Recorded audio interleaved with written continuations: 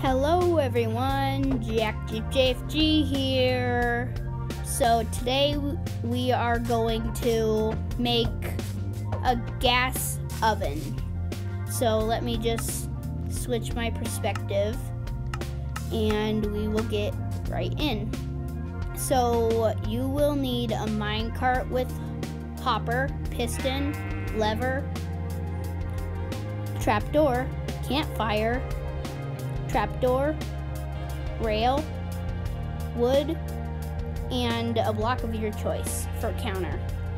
So we are going to place a campfire and we will uh, then put our little counter right there and then put the trapdoors on that counter for later use and then put the pistons right next to them. And then here's a, the tricky part. So I'll get to it in a sec. This is recorded. Um, I'm watching my YouTube video, um, and this is recorded.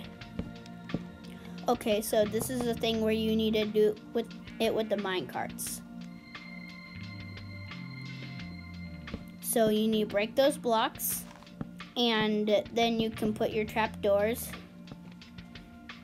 Okay, wait a minute, they're slipping. Okay, so I'm gonna need to fix this problem. I'll see you guys on the other side. Okay, so I got what I done wrong here. So I need to put a trapdoor um with or right next to the campfire to not let the minecart slip because Pocket Edition physics are a little wonky. So place your next minecart the reason why I didn't put the rails next to each other because you know what happens. They will end up making the circle thing. Guess I shouldn't say circles. There are really no circles in Minecraft. Okay, so now what we need to do is get our levers or levers, whatever you call it. Push the trap doors do not break um, the counter blocks because your minecarts will slip. And you can uh, disable the smoke or maybe not disable so you can grab like um, a water bottle and it'll burn out the smoke. And it works too.